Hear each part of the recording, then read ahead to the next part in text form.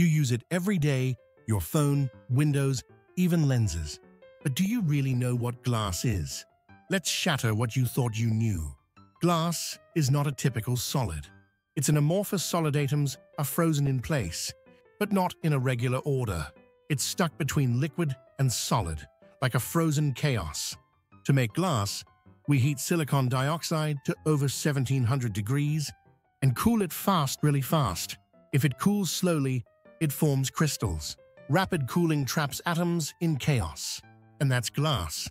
So why is glass transparent? Unlike crystals, its electrons don't absorb visible light. That's because the energy levels are irregular. Light just passes through. Want colored glass? Add metal ions.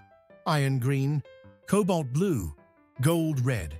Even small amounts can completely change how glass looks. But here's the downside glass breaks easily. Why? It has no crystal planes to absorb shock. That makes it beautiful but fragile. Still, its transparency changed the world, from microscopes to telescopes. So next time you look through glass, remember you're staring into frozen chaos. Curiosity solved? Then like and subscribe for more.